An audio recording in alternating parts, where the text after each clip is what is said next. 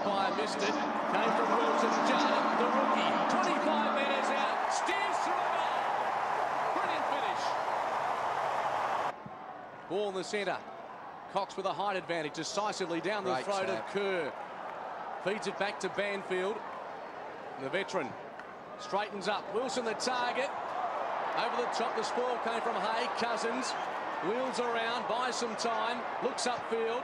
Off a step, not much to kick to, although Weir Punda on a collision course with Harford. Harford's gone down, advantage is paid. Fletcher will just kick a goal, will he? Yes, he does. Harford is down behind play. And their roller coaster season looks set to continue.